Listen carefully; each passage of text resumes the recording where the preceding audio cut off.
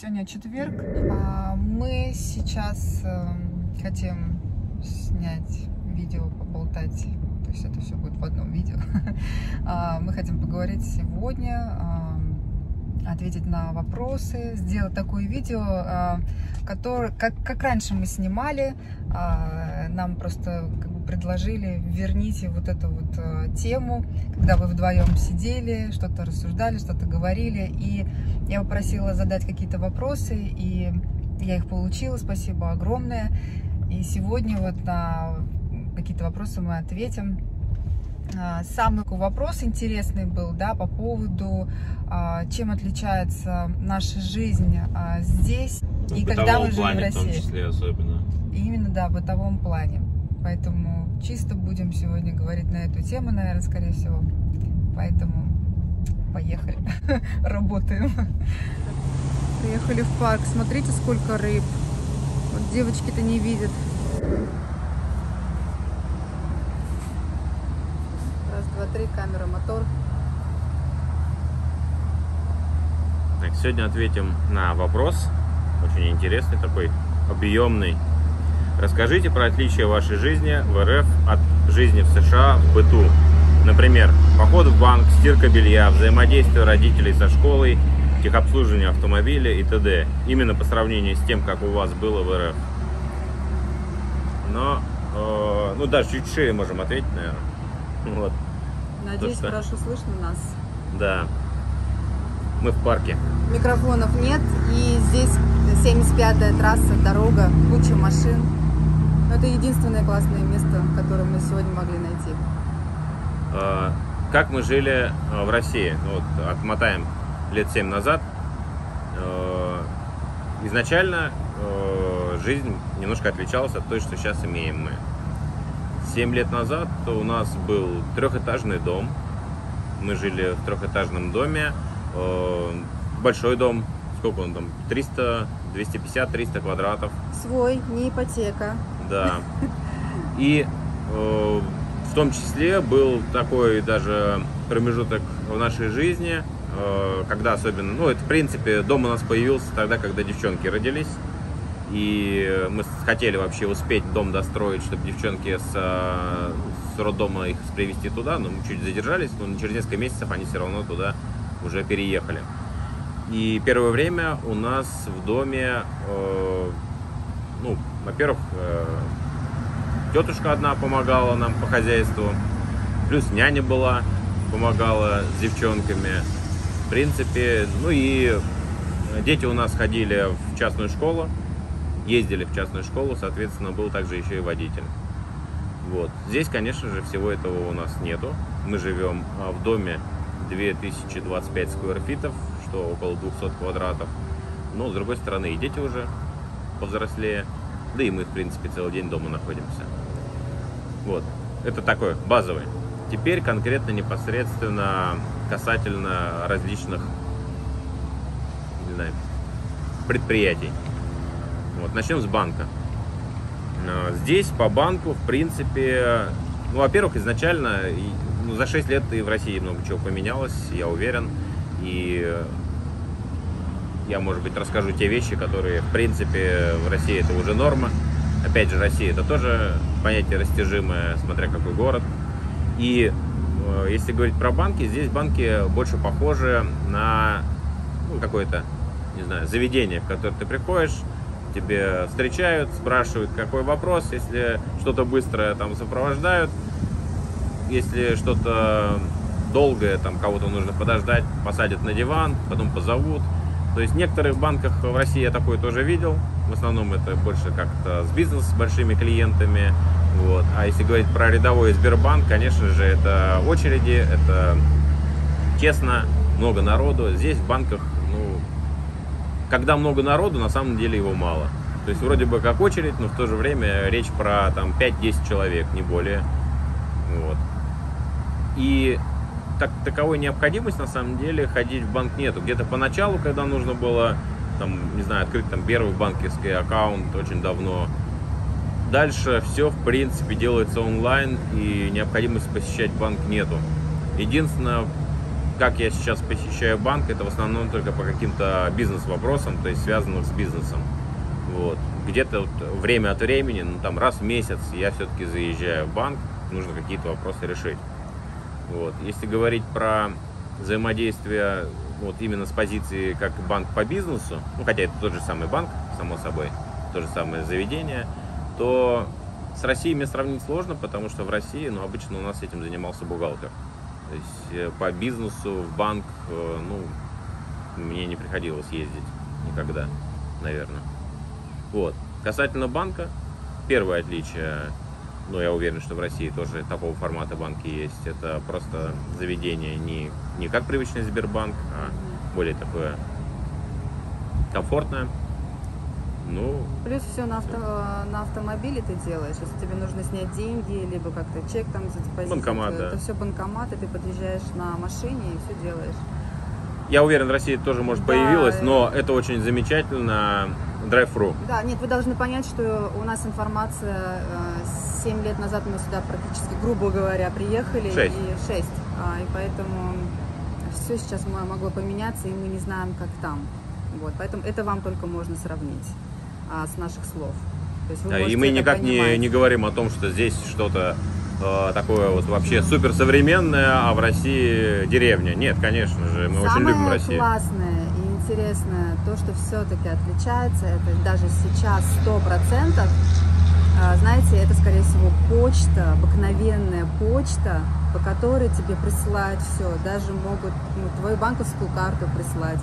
Документы. И документы. И эта почта, знаете, у меня Артемка ходит каждый вечер а, с ключами, проверяет ее, какую-то важную информацию, потому что почта это все.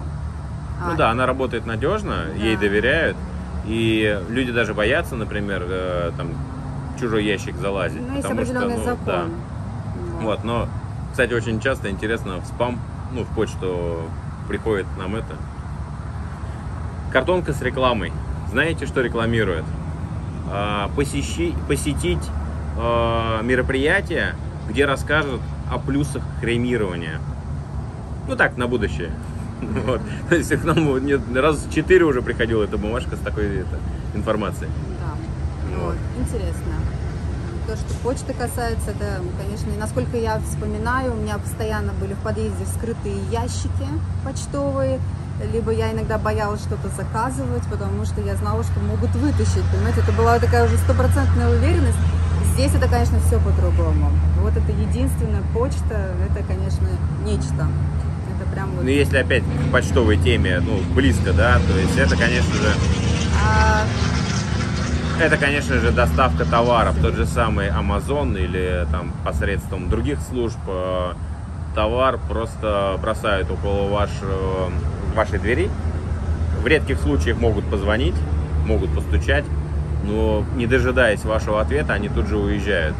В принципе, таким образом вам могут привезти заказанный iPhone, заказанный iPad, заказанный MacBook, который, ну, стоит денег, но его просто вам бросят около двери в коробочке, и у вас может быть весь день не быть дома, вечером вы придете, заберете эту коробочку, зайдете домой, распакуете свой новый MacBook. Но даже если вы куда-то уезжаете, м, было такое, что мы уезжали вообще в совершенно другой город и приезжали, и у нас эта посылка лежала. То есть это нормально, это в порядке вещей. А, вот. а поначалу это когда приезжаешь, да, это немножко так диковато чуть-чуть. Ощущение такое, все-таки не, поним- не понимаешь еще. Кстати, чуть-чуть вот такая, чуть в сторону от вопроса, А, если мы заговорили про MacBook, а, Мгм. когда вы покупаете MacBook здесь, ну, на сайте Apple, вы, в принципе, можете заказать себе клавиатуру с русской, ну, русской и английскую. То есть вот у Ирины, например, она покупала здесь MacBook, у нее MacBook э, с русской раскладкой и с английской раскладкой. То есть, в принципе, заказывая, вы можете указать этот, эту опцию без проблем. Вот. Если, если нужно, если вы знаете хорошо английский язык, то вам это не надо. Не, ну если все равно общаешься на русском, а, это, в принципе, полезно. Вот, дальше. Если э, вернуться опять немного к банку, вот Ирина затронула эту тему, drive-thru это вообще супер классная вещь. Это когда можно за ну, с чеками, там, не знаю, или кэш снять, э, вы просто не вылазите из машины, проезжая через банкомат, то же самое, как в Макдональдсе, также и в банке, ну, также и в аптеках вы можете этой услугой воспользоваться. Кстати, люди часто используют чеки здесь. Э, Это уже давным-давно.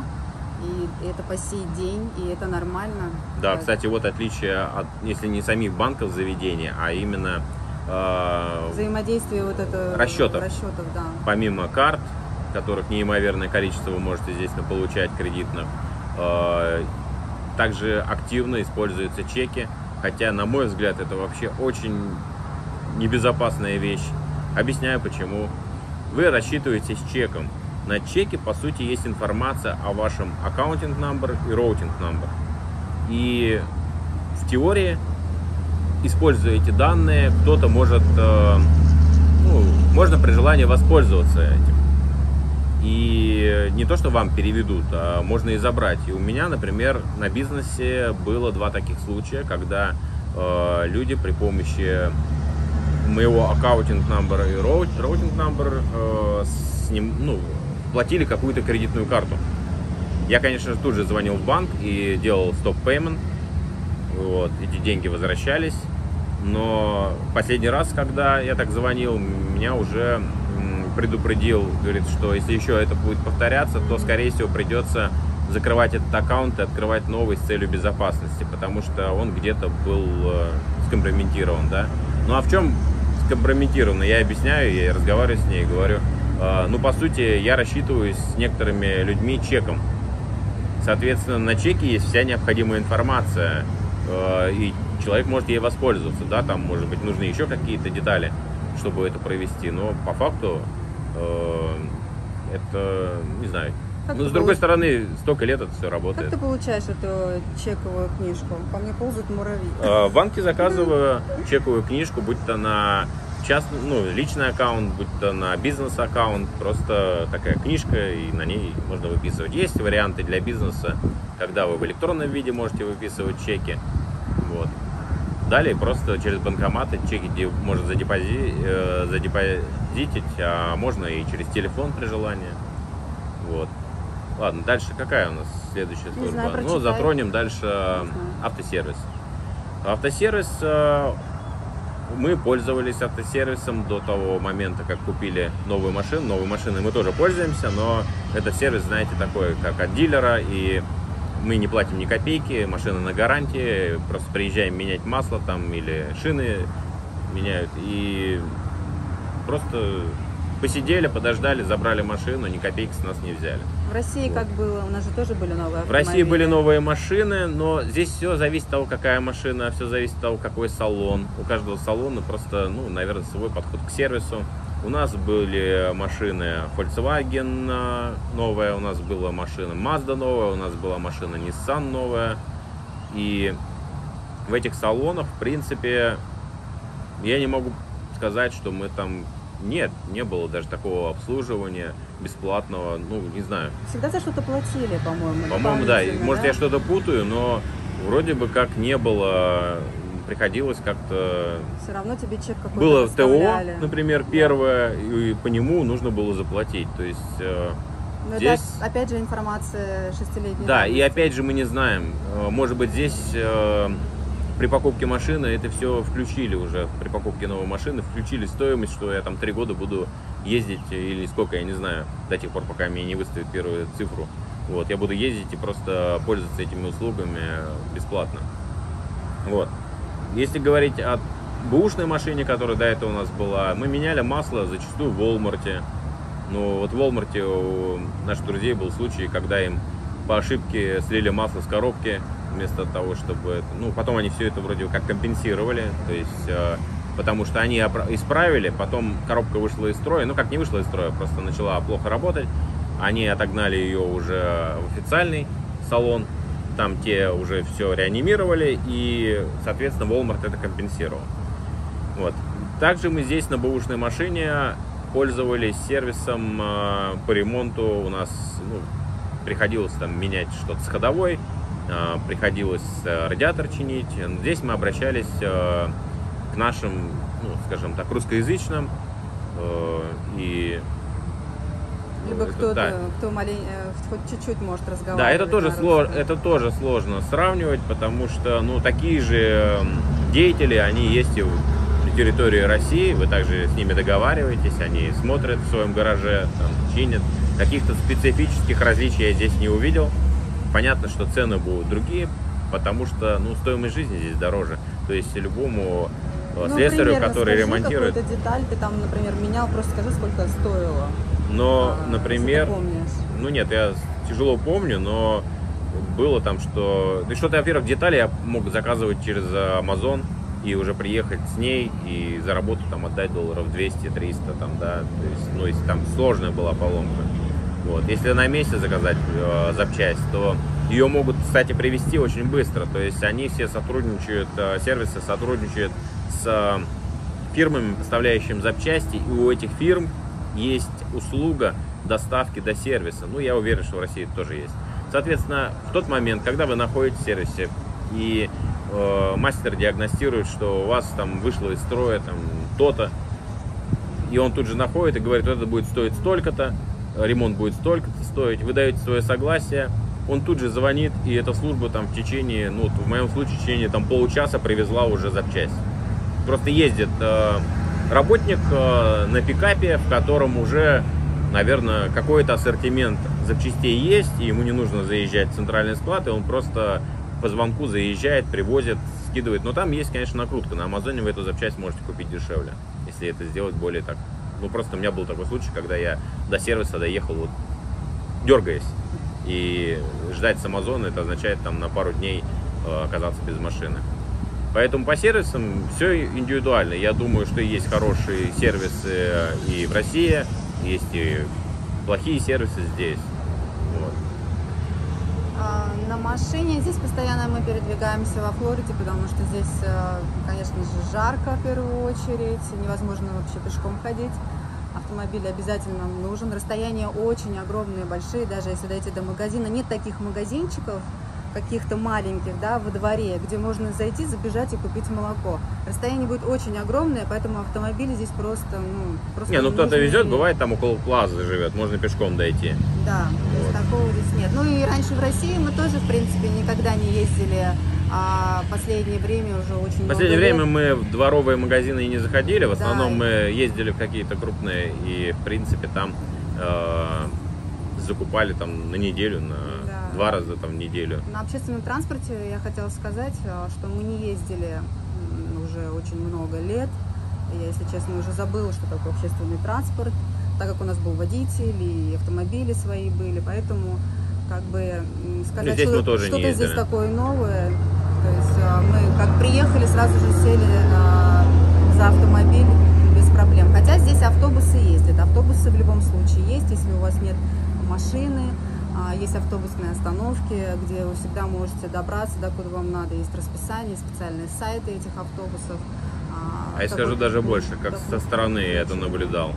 То есть вы можете до автобусной остановки доехать на велосипеде, автобус остановится, и никто вам ни слова не скажет, а даже водитель может помочь, вы свой велосипед зацепите на специальное устройство, которое есть там, ну, не знаю, и спереди или сзади, или и спереди и сзади у автобуса. То есть прикрепят ваш велосипед, вы дальше сядете и будете ехать, а потом также вы его открепите на остановке. То есть э, нет такой проблемы, что как в автобус залезть с велосипедом. Автобусы, большинство автобусов к этому готовы. То есть они ну, продвигают эту тему, что вы можете э, с велосипедом ехать на автобусе. Конечно, автобус, там работает кондиционер. Единственное, что может напрягать, это жара. А, Это то, что очень такой влажный климат, поэтому это единственный, может быть, минус. А, Вот. Что еще? Какое отличие у нас есть а, жизни в России? Ну, по магазинам а, тоже крупные гипермаркеты, они также есть и в России, и какой-то серьезное, ну, есть отличия, связанные исключительно со спецификой товара, да, ну, если вы там приедете в Китай, скорее всего, там тоже будет определенное отличие, просто, наверное, разность в кухне и так далее.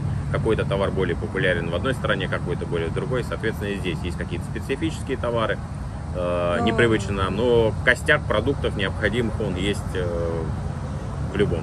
Если взять Пабликс, например, магазин, который очень рядом всегда находится, а, там есть, в принципе, европейская кухня. Я даже чай купила, где, в принципе, даже на русском языке написано все. Можно найти. А, европейская, мексиканская, разная вообще кухня абсолютно. Не так много будет, но разнообразие все-таки есть. Можно что-то приобрести. Вот, так что разнообразия в питании как бы проблемы вообще нету. В одном магазинчике недалеко от дома, в Пабликсе в первую очередь, вот можно найти. А там уже, если хотите, то, конечно же, можно уже куда-то выезжать. Эти магазины, гипермаркеты, они находятся гораздо дальше от дома. А, в любом случае, минут 20-25 нужно будет ехать на автомобиле, и там уже можно приобрести другой товар без проблем. Вот можно затронуть школы, например, отличие школ. Как я вначале сказал, наши дети, в принципе, э, ну, София, может быть, еще там первые 2-3 класса застала, а все, э, все остальные классы, и также Тимофей, они учились в частных школах. И, соответственно, ну, это уже другая, немного отличие от э, обыкновенной школы. Вот, хотя, я не знаю, я с ностальгией вспоминаю свою обыкновенную школу в моем детстве, но, наверное, тогда были и другие времена. Вот, тогда все было по-другому. Вот. Здесь же э, общественная школа обыкновенная. Ну да, конечно же, мы не селились ни разу там, где школы там с рейтингом 2, рейтингом 3, такого у нас не было. В основном это, не знаю, семерки, восьмерки, девятки. И эти школы, наверное, по не знаю, мы не видим, что они хуже частных школ в России. Вот. Откинем там какие-то... Образование? А, в плане питания еще момент, а в плане образования и насколько уделяют э, детям внимание, вот, наверное, в принципе, это не хуже частных, хотя Давай это простая частную. бесплатная школа. Давай вспомним нашу частную. Вот спрашивают же нас, как у нас. Да, именно. одна частная школа Давай у нас была у Софии, в нее ходила только София, Тимофей ее не застал. Это была самая крутая школа в нашем городе, крутая с позиции самая дорогая, и с позиции туда, наверное, вся такая богатая элита ходила. И мы как-то там затесались. Как-то, вот. не знаю, как-то мы затесались. Да, то есть... Э, получилось так, Соответственно, там, я как это называю, были ненужные дети. То есть э, в нашем случае то вот мы реально затесались, а вот в другом случае папа, мама где-то в Америке полгода живет, ребенок с бабушкой, они его запихнули в частную школу дорогую, и вот он, водитель его привозит, увозит, и вот он так-то живет, ну, в некоторых случаях, наверное, не нужные никому. Ну, это частные, наверное, случаи, но в большинстве э, директор э, задвигала требования, какой дорогой подарок ей подарить там на какой-то праздник, какой-то момент э, на линейке 1 сентября она посвятила, наверное, минут 15 первых, э, высказывая свое недовольство, что какой-то из родителей, что какой-то из родителей с ней не поздоровался, да, то есть вот, это просто я пытаюсь сравнить подход, да, то есть э, вторая школа была у Софии, и Тимофей ее застал с первого класса, это была, наверное, идеально, это, знаете, такая э, утопичная школа нашего детства, где там вообще все, не знаю. Придешь к директору, у него коняшка деревянная Да, летают, стоит. летают там феи и э, кругом бегают пони. Вот так это выглядело. Там была такая душевная обстановка на 1 сентября. Это тоже частная школа, тоже платная школа, и там тоже определенный круг э, богатых людей, но она, э, наверное, по уровню ну, на втором месте а, а мы туда пошли не из-за того, что там как-то хотели сэкономить, а в первую очередь, что вот нас вот именно зацепило вот это подход. Но там все держалось за счет директора, в первую очередь, который эту атмосферу и создал. Вот как Ирина говорит, к нему заходишь в кабинет, у него нет там дорогого дивана, у него там коняшка для того, чтобы ребенок посидел, какие-то фотографии своих выпускников, то есть он так это рассказывает с Потому такой что душой, да. дорогой диван-то не нужен, хотя не знаю, каким детям, конечно, но в основном они это не, не так ценят в этом возрасте. Да, а там, а там какое-то вот все, да, та предыдущая директриса ей э, роскошь давай там и так далее, то есть вот у нее даже какое-то требование уже было, а не просьба. Вот. Э, вот смотрит она тебя сейчас, скажет? Да, она не смотрит. Вот. Тёмка, ах ты, Тёмка. Но зато, когда мы с первой этой школы уходили, ой, к нам послали, меня там окучивали несколько учителей и расспрашивали, может вы все-таки передумаете, а почему вы уходите? Это просто такая обработка была, что я, наверное, я в какой-то момент мог сдаться и не уйти. Но у меня было задание четко забрать документы ребенка, а мне их не отдавали, мне вот пытались, она, директор, то подошлет тебе одного учителя, дал. то подошлет другого учителя. задание дал такое? Ну, семья. Вот. То э, сама потом уже со мной разговаривает, там потом уже высказала свое предположение, что может дело в деньгах, может быть мы вам скидку какую-то сделаем. Я говорю, да нет, дело не в деньгах, мы просто решили там поменять и так далее. Да, да. Вот, ну прямо-то уж ей не говорим, из-за чего, но нам немного не понравилась атмосфера.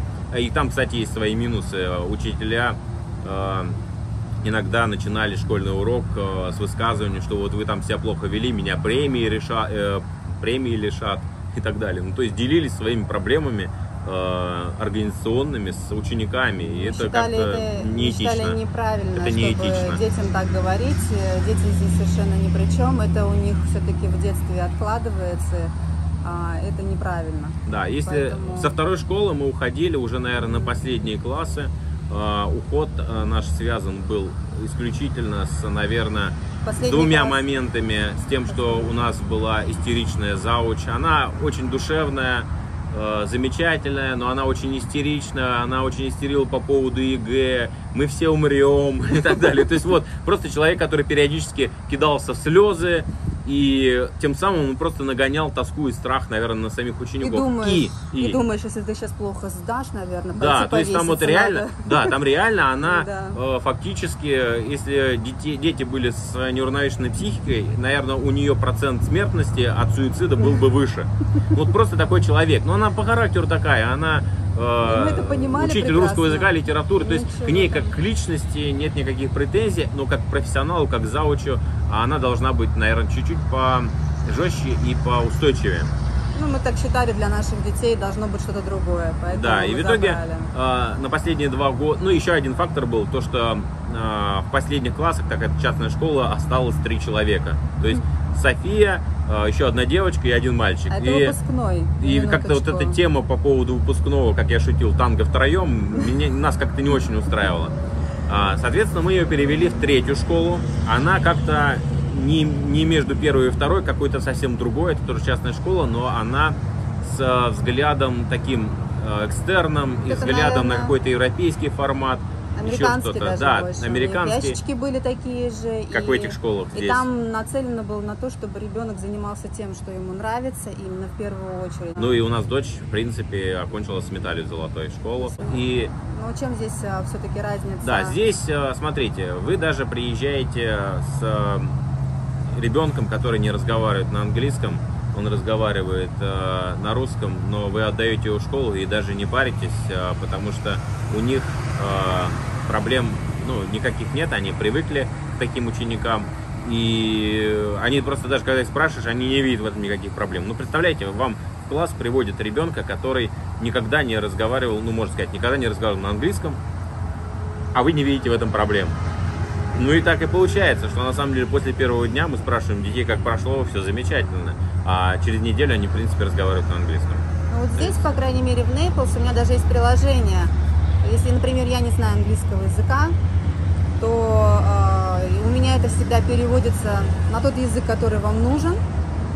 А, здесь, кстати, у нас в Нейплсе креольский да, язык, испанский. Да, три языка продвигается. Это испанский, английский. креольский и английский. В э, государственных заведениях иногда будут таблички на трех языках.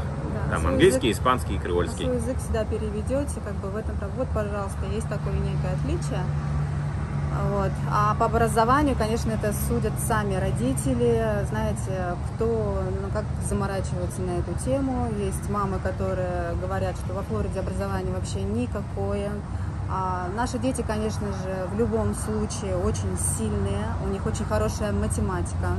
А если даже ребенок, к примеру, приезжает, а, ну, второй класс закончил, к примеру, да, то есть он приедет сюда, то я, я думаю, что он легко может на уровне третьего уже, там, да, может кто-то четвертого даже учиться, потому что у него математика будет идти вперед, к примеру.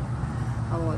Но мы в любом случае Тимофея отдали прям вот класс в класс. Почему? Потому что когда ты приезжаешь э, в другую страну и у тебя еще нет языка у ребенка, у него определенный такой стресс. А Тима у нас такой ну, стрессовый тоже парень, и мы решили его не напрягать.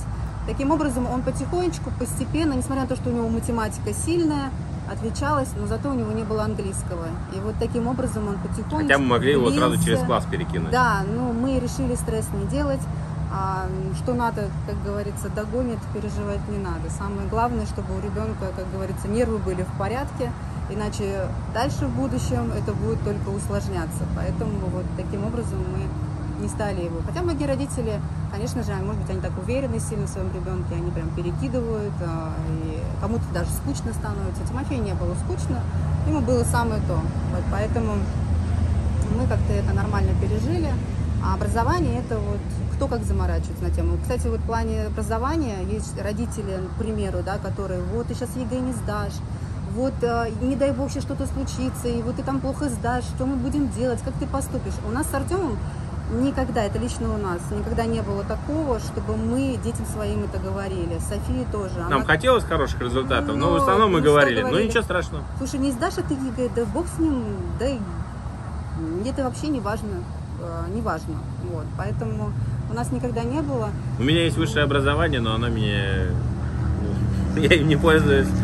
Вот, то есть и также детям мы говорим, ну, откройте свой бизнес, будете бизнесом заниматься, как, ну, не так страшно это, это, это как говорится, знаете, а, есть, а, есть такая шутка по поводу диплома. А, многие люди, которые не имеют диплома и никогда не учились, ошибочно полагают, что диплом это бумажка. Те, кто отучился и имеет высшее образование, четко знают, что диплом это картонка. Вот. Нет, ну когда ты ставишь цели, точно знаешь, э, что ты хочешь, кем ты будешь, а, это хорошо. Это прям вот э, есть э, такие дети, родители. Ну, мы не такие, к сожалению, не знаю, к счастью ли. Раздолбай. А, да, мы, наверное, больше раздолбай, и можно так нас назвать. А, и мы постоянно сами себя так называем, вообще ничего там страшного нет. А у детей есть, кстати, процесс от, а, ну, знаете, когда вы кому-то говорите делать так, они делают наоборот. И вот у нас с детьми также. То есть мы раздолбаем, и мы, знаете, вот просто как вы эти родители, по-моему, мы это уже рассказывали. Мы, дочь, поехали в школу прогуляем, поехали в Турцию съездим, отдохнем. Она говорит, нет, у меня предстоят важные экзамены, я не могу пропускать. Дочь, ну давай прогуляем, ну съездим вот на три дня. Мы там, так хотим это... отдохнуть. Да, Мы поехали, устали. вместе уедем отдыхать. Нет, мне надо в школу, едьте без меня, я не поеду. Вот, вот у нас так получается. То есть мы, как это, знаете, на одном плече сидим, и давай прогуляем, давай это. Она такая, ну это София, Тимофей, в принципе, так же. Да. Тимофей так же. Да. Девчонки, наверное, но девчонки учились только здесь. Но они бы, наверное, рады были. Да, Тима, кстати, Тима, насчет Тимофея мы всегда переживали, как да, что он будет. Ничего, сейчас на английском хорошо разговаривает, у него еще он испанский, они здесь учат, это как обязательно, да. Испанский, сейчас он изучает э, просто сам японский, он уже тоже на И нем разговаривает. разговаривает, и, соответственно, знает и наш Четыре языка. язык, у него как бы база все равно сохранилась, потому что он приехал все-таки не совсем маленький, и он знает еще и а, наш язык, потому что девочки, в отличие, они, конечно, немножко Ой, мышка летает. Они немножко, конечно, уже подзабывают, и у них нет такой базы. Ну, у них смешанный язык, много слов Мухи- английских. мухи летают. Вот, это, в принципе, вот, пожалуйста, школы.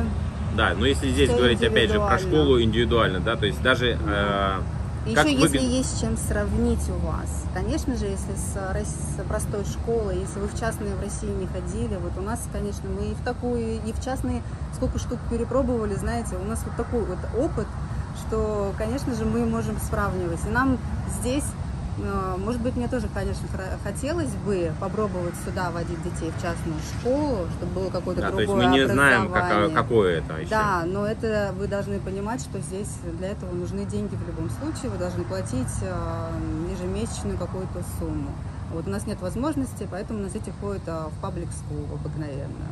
И Вот. еще отличие школ.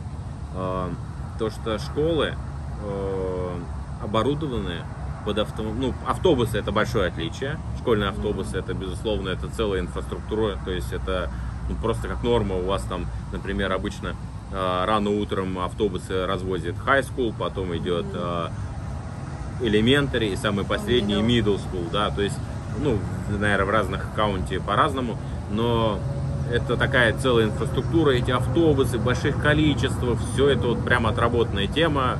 Э, Ребенка довезут до дома, ну, ис- исключение там, может быть, если там вы в- одной миле живете, там, скорее всего, автобус не будет вас подвозить. Так вот, помимо автобуса, все школы оборудованы паркингом и возможностью забрать ребенка и привезти ребенка на автомобиле, то есть кар-циркл. Вот, э, я вспоминаю свою школу, где я учился в детстве. Там как такового паркинга просто на территории школьного двора даже не было. В лучшем случае там под три машины, и то, наверное, директор ставил. Вот. Здесь же э, все школы оборудованы паркингом дополнительным. Если говорить про high school, то high school э, оборудована громаднейшим паркингом, потому что там есть еще и паркинг для детей. То есть а, кто учится там в 11-12 классе и приезжает на своих машинах, они там паркуются. Вот. Ну, для этого нужно заранее, за год, в принципе, бронировать ребенку место, да, если него уже как бы планируется, либо есть уже автомобиль, и он потом может, как бы, ему могут предоставить эту парковку. А так в России, в частных школах, нам сложно было припарковаться, по крайней мере в нашем регионе, с парковкой проблема.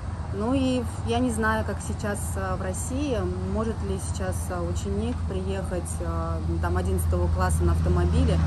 Не знаю, это к вам вопрос, хотелось бы узнать, как сейчас. Ну и особенность, там же в основном, как в России, вот та школа, в которой я учился, в основном ставят школы, а вокруг э, жилой район девятиэтажки, двенадцатиэтажки, пятиэтажки. И, соответственно, вроде как эта школа рассчитана на тех людей, которые живут по круге, и вот они все в нее пешком уходят. Им, в принципе, это и не нужно. Да. Вот все, все рядом, а здесь это невозможно. А ну. здесь, да, здесь, э, во-первых, если мы говорим там про одноэтажную Америку, это комплексы, которые раскиданы, и просто если вы поставите школу в середине комплекса, ну, у вас будет 5 учеников, да, то есть поэтому с большего района все это свозится. Я просто помню, что в нашей частной школе а, мог ездить ученик на обед, к примеру, где-то десятиклассник. И то это была какая-то машина представительского класса, он был чьим-то ребенком. И, по-моему, он... он даже ездил, а... ну, не будем наговаривать, но у него не должно быть прав.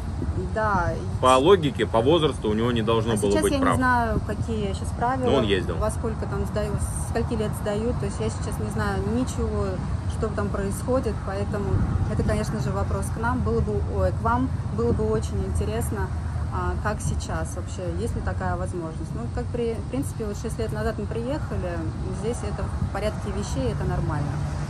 Вот. Что еще? Пауза, По... пауза, я хочу проверить, Давай, пишется, проверь. не пишется, сиди, да. как сидела? Сижу. Пишется?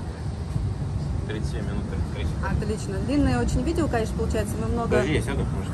Нет, ну даже это может остаться, в принципе, я думаю, ничего страшного нет. Не будем вырезать.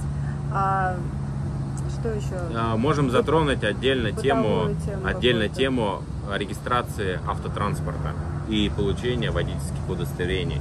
Это интересная тема. То есть, э, ну, вообще, в принципе, так таковые, ну, назовем их чиновники, да, если в России их э, можно назвать чиновником, вот эти вот представители службы, знаете, когда э, человек сидит всего-навсего там бумажку какую-то оформляет, а он чувствует себя господином, ну, в принципе, там все господины. Вот. Ну, суть в чем? Я не знаю, я не видела такого. Ну, как, ты вот и приходишь э, получать права, ты сидишь там, тебя все, ну, это что, это не дали, это что. Здесь же это по-другому отношение. И каждый человек, который занимается в этом, он просто обыкновенный исполнитель. То есть а. он без, боишься, без не власти. Не дадут. Ну, он да. без власти, он просто работает по инструкциям. Это примерно то же самое, что, я не знаю, ну, лю... вахтерша, да, то есть вот, все то же самое. То есть вы просто приходите, это просто административная, бумажная работа, вообще не имеющая никакого отношения ни к власти, ни к чему. Самое главное сейчас не уйти в сторону политики. Мы не уходим в сторону это политики. Знаешь... Это, это просто, наверное, э, вопрос э, уровня э, исполнителя здесь и исполнителя там. Даже вот здесь, я уверен, в правительских, правительственных учреждениях сидят исполнители, они реально исполнители, а не вершители судьбы. А я просто имел опыт а, обращения там и в районных, а, скажем так, администрациях и так далее. Так там маломальский человек, какой-то там начальник какого-то 25-го отдела там вот. И он уже бог и царь, понимаете? Есть, вот. есть, у нас такое, есть. Ну, вот здесь, а, здесь, а, если он выписывает бумажку, он просто выписывает бумажку, он не там принимает какие-то решения, он действует по инструкциям. Так вот, в случае получения прав во Флориде, по крайней мере, настолько лояльны к иммигрантам, что теоретическую часть по правам, а именно правила, вы можете сдать на русском языке.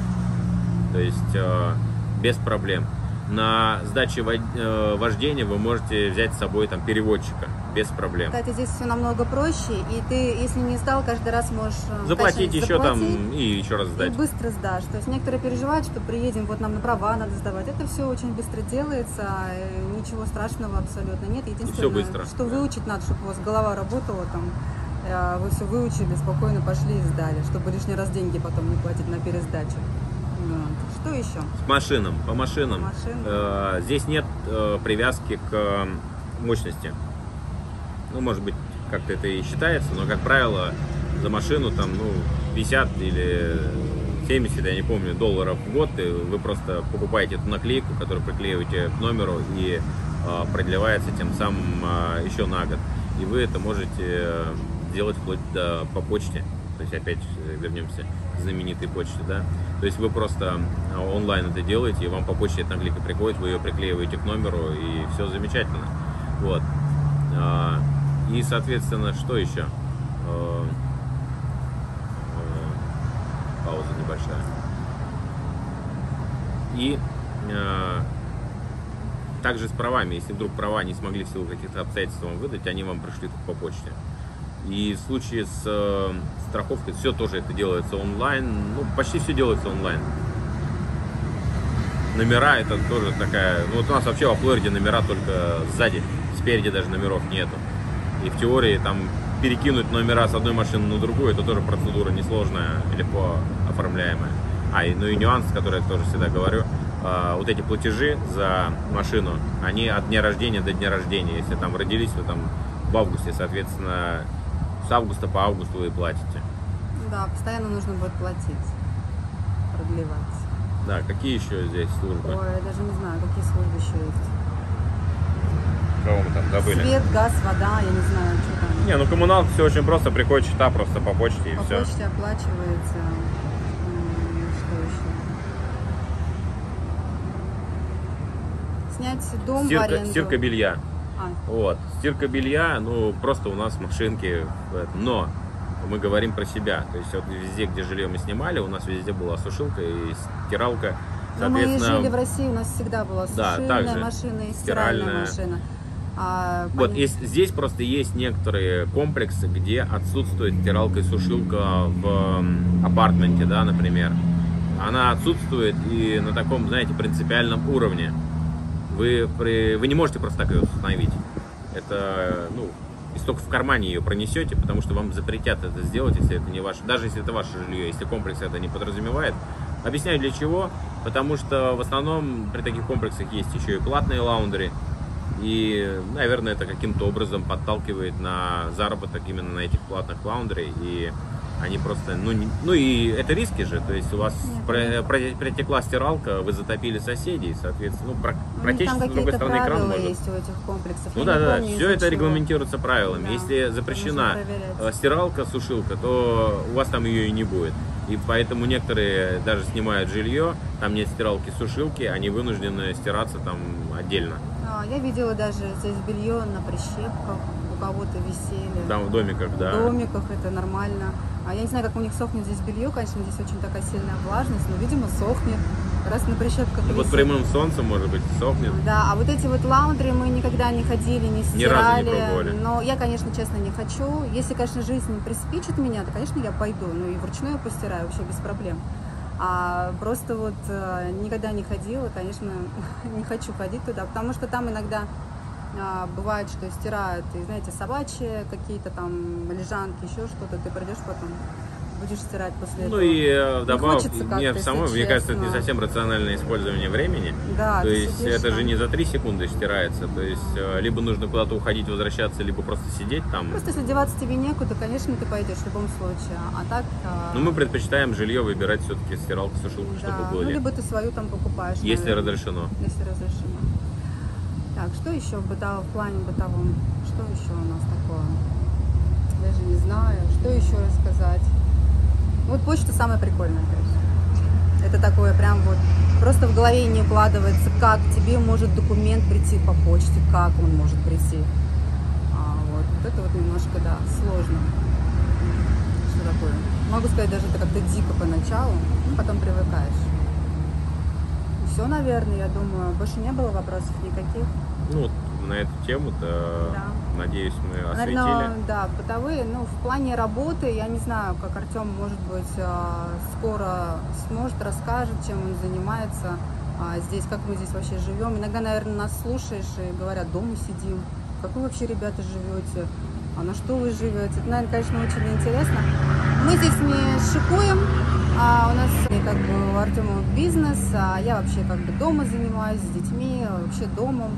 А в целом у нас э, возможность такая прям зарабо- заработать денег, но мы как-то здесь живем, в принципе, можем снять себе жилье, а, э, растить детей здесь э, спокойно, жить и чем-то еще наслаждаться, ездить куда-то отдыхать, что-то себе позволить. Как бы вот такая вот жизнь. И самое классное это то, что для нас плюс, что здесь во Флориде это вода, это влажность. Для наших детей это очень обязательно нужно.